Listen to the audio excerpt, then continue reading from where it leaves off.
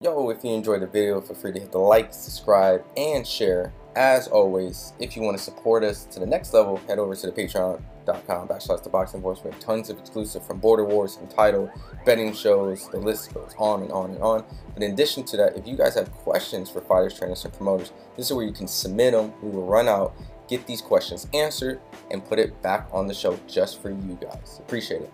Peace.